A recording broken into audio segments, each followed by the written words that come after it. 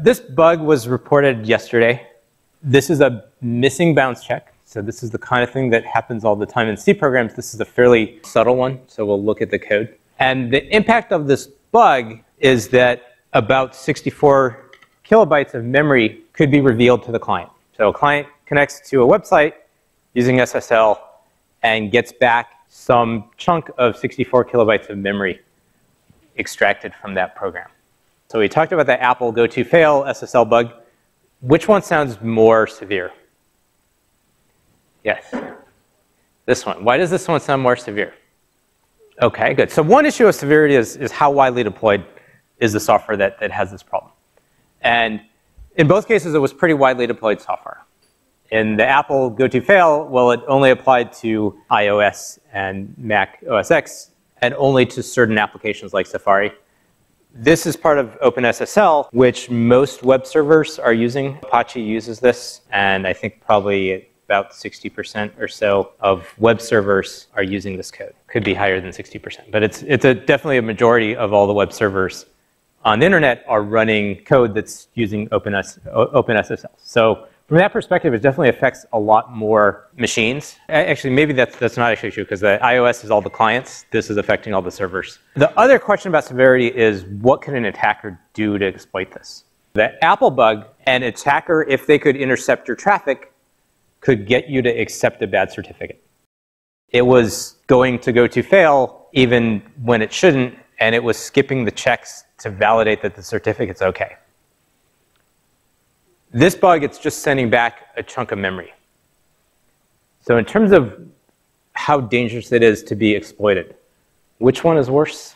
How would we decide if this is bad? The impact of this bug is someone can visit your server as a client, send it a particular request, and as long as you've got this heartbeat extensions turned on, which most servers do, your server is going to send back a chunk of 64 kilobytes of the process's memory space for the client to see. What should we be worried about in that memory space? Is that a big problem if a client can see our memory? Yeah. Okay, yeah, so what would be the, most, so that's 64K of the process, right? So it's not just the OpenSSL code, because that OpenSSL code is embedded in the web browser, so it's that whole web browser process. What's the most interesting thing that could be in that 64K as far as an attacker is concerned? Yeah, right. So that 64K is quite likely to include the server's private key. And if that server's private key is exposed, well, then any session that's encrypted between that server and client can now be broken. And anyone who has that private key can also impersonate that server. So this is a much more serious bug than the Apple one. The Apple one, in order to exploit it, you had to be able to intercept packets between the client and the server and replace them with your own. So you had to be able to access the wireless access point or some other point in the middle and intercept and modify that traffic. This one, all you've got to do is connect to the server, which every open web server allows you to do. And if you send it the right messages, you get their private key back, which is a very, very undesirable thing to have happen. So what was the bug? Here's the code that processes the heartbeat request. And this is just a request you can send a, a web server to get some information back. We're going to zoom in on this a little bit, but it's not, it's not too much code. It's a, it's a fairly small chunk of code that is enough to understand the vulnerability. And we've looked at examples of C code in a couple classes. So we looked at the Apache SU exec code, and I at least claimed that was really good C code that gave me a warm and fuzzy feeling about using Apache. We looked at the Apple SSL go to fail code, which to me look like really horrible code that you would expect to have lots of security vulnerabilities in even before you find them. What do we think of this code? Is this more like Apache's code or more like Apple's SSL code? So do you like the code? It seems people are fairly happy with it. There's nothing you don't like about the style or the, the way it's written. So it has some comments. Do we like the comments? At least see, someone's saying they don't like the comment. What, what do you not like about the comments? I, I agree on both of those. So the, the comments, there are comments there more annoying than useful to me, right? There are comments about things that are obvious from the code, like the random padding comment that you mentioned that something that is called ran pseudo bytes and passes in padding, probably you don't need a comment to know that that's random padding. It would be a lot more useful if the comment explained, here's why we need to add random padding here, rather than just telling you that, yeah, I'm calling something that is obviously doing random padding for, for the names. And other things like this comment really doesn't help you understand much what's going on. So there are comments there. They look like comments mostly added for the sake of adding comments, not for helping someone understand the code. The one that's kind of good is this one. So this one explains where the one and the two and, and the payload and padding are. So that comment is sort of helpful, but it also, to me, is sort of bad coding. Here they calculate one plus two plus payload plus, plus padding. Here they calculate three plus payload plus padding. Here they calculate three plus payload plus padding. So they're calculating the same thing three times. Sometimes they separate the one plus two, and sometimes they are able to do that in their head and get three. But it's, in my view, pretty bad coding style to compute something like that three times rather than giving it a variable and explaining this is the size that you need. The other stylistic thing about, yeah, should you always have braces around the ifs? Certainly not syntactically necessary to have them, but in terms of readability, it probably would be a good idea, especially when you have something that complicated inside. So it certainly does not give me the kind of warm, fuzzy feeling reading the Apache SU exec code does. Some of these things are definitely subjective but it's also the kind of thing that by making the code harder to read, they increase the likelihood that there are bugs in it that are really important, and they make it harder for other people to read it and review it and find those bugs. Now let's actually look at this in a little more detail. The call that is most directly the vulnerability of this memcopy. What memcopy does is it takes three parameters. So the first two are addresses, the second is the length it is copying n bytes. So the third parameter is the number of bytes to copy. It's copying from the second object into the first one.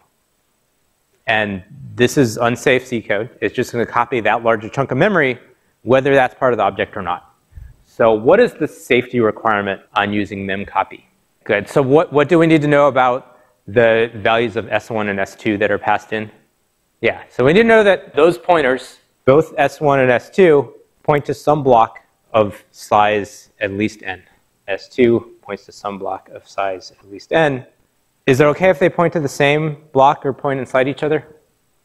Without looking at the code, we might not be sure about that, but the spec actually says the behavior is undefined if they overlap. So there's another safety condition that those pointers can't be pointing to any storage that overlaps within the first n bytes. That, that actually is not the issue here. The issue is, is the size of these. So anytime memcopy is used, we need to be sure that that safety property is, is guaranteed. The value that's being passed in a memcopy, PL comes from P, which comes from this record. So that's filled up based on a packet that comes in from the network, and it's this data structure. So we've got a field data that's a pointer to the record data. That's something that came in from an external untrusted user. And we've got a field length that's supposed to keep track of how much space we have. What happens inside processing the heartbeat that came in is we've assigned P as a pointer to the beginning of that structure. So that's where P is pointing.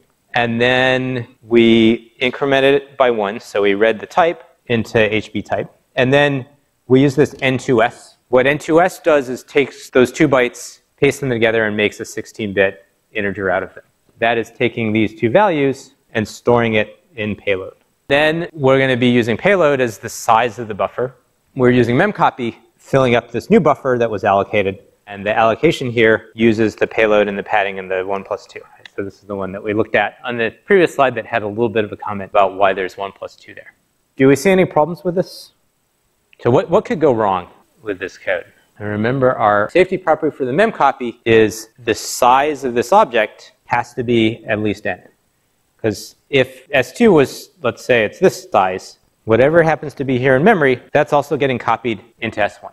What's happening with what's getting copied into S1, so what's getting copied into BP, BP is eventually being sent back in the response. So whatever was there is now getting put in this buffer that's getting sent back to the client. So if it turned out that our safety property wasn't guaranteed, this big chunk of memory is getting copied into S1 and sent back to the client in the response, not just what was supposed to be in that data object. Okay.